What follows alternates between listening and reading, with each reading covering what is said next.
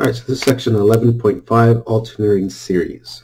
Okay, uh, so this is a very particular type of uh, test, you know, because it's alternating. So what it means by a series alternating is just changing in sign. That's pretty much what it's, it's happening here. Um, so key thing is the past examples were all positive series, right? So it's all increasing. So this is a, one of the very first ones we'll talk about when it could be negative, right? So it goes back and forth, back and forth, negative, positive, hence when it's being alternating. Um, so, you know, we're going to have actually negative terms this time itself. Okay. So again, an alternating series test kind of looks like this, where the, the sequence, you know, alternates depending on the value. So if you plug in 1, negative 1 to the first power is positive, you get a positive number. Plug in um, 2, 2 minus 1 is 1, so negative 1 times this, right? So it just alternates back and forth uh, when it comes to it, okay? So an example would look like this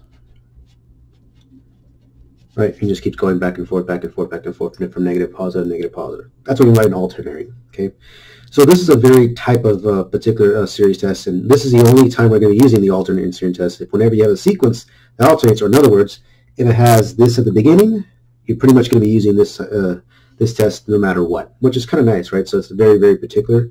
So it only works for a very, very portion of uh, the series test we talked about earlier itself, okay? So Going forward, now to have an additional type of series. You know, again, the best part is this will only work if we have this happening, right? You know, it doesn't work for anything else. So it's kind of nice. Okay. So if we have an alternating series test, so given like this portion here, where it's plus minus, plus minus, plus minus, that satisfies that the uh, the second, so b sub 1, n minus plus, sorry, b of n plus 1 is less than or equal to b sub n. So in other words, the um, the next term is smaller than the previous term. So for example, if this is n, right, and this is n plus 1 the next term, notice that this is smaller than this, so that would make sense, right? And it just goes back and forth, back and forth, no matter what, uh, when it comes to it. Okay, so if that works, if that works all the time for any value, so any value we stop at, when it comes to it, and also if the limit of the sequence without the alternating part equals zero, then the series converges completely. Okay. Now, if we have this happening, however, this is not equal zero, then also it just diverges. You know, that's pretty much the, the consequence of this kind of stuff itself. Okay. And again, the best part is if it's anything besides zero, it automatically diverges. If it's zero exactly, then it converges itself. Okay? Now, if you're wondering, okay, how does this actually work out, right, when it comes to it? So, um, without going into the like a full-on theory behind how this works out and the explanation with the the actual um, you know calculus behind it, I'm going to show you a picture of what's actually why this actually ends up being zero. Okay, so b sub one, right? You just some random number. Let's say like it's like five. Let's say we start with four, right? So length of four.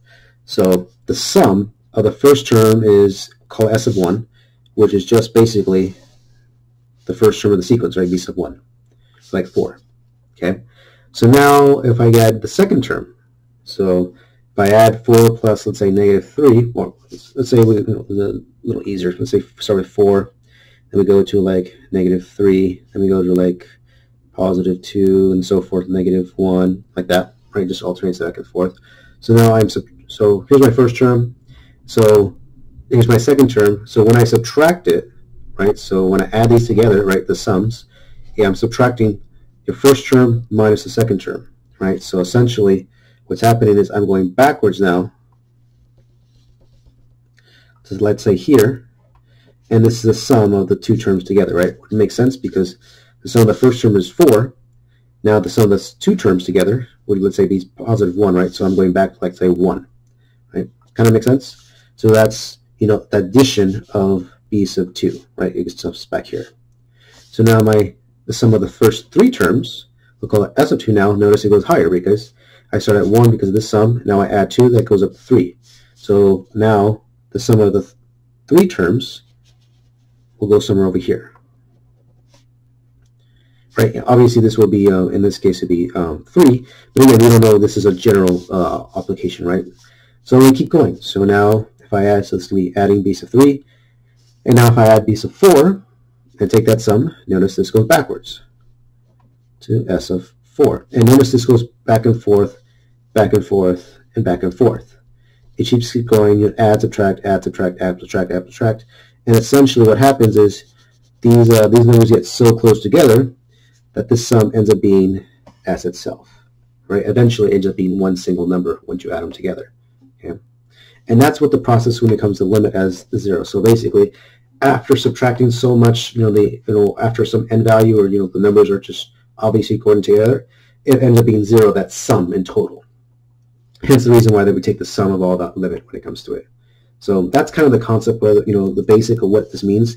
When I go into the you know the, the complete algebraic and um, the calculus portion of taking the limits and going through all those individual values and stuff. That's pretty much what's actually happening here. So like eventually, when you add all of the terms together, and because they, because they alternate, go back and forth, back and forth, you end up adding and going back to the, the difference is actually just zero itself, right, when it comes to it. Okay. All right, so hopefully that's a little bit more explanation of what's why this is actually, you know, why is this true? Again, without going to the, know, the nitty-gritty stuff itself. Okay. So let's try it out so you can see what's actually happening here. Okay. All right, so we're going to test the series converges or diverges when it comes to these alternating series tests. And again, you know it's alternating because that right there, right? That's the biggest thing itself, right? So first one, check, it does alternate. So check one, right, satisfies the first condition, check. So therefore, we want to take the limit. Now, we want to take the limit of everything besides the alternating part. So in other words, notice this is b sub it. So b sub n is right here. So it's everything except the alternating part because that doesn't matter when we take the limit itself. Okay.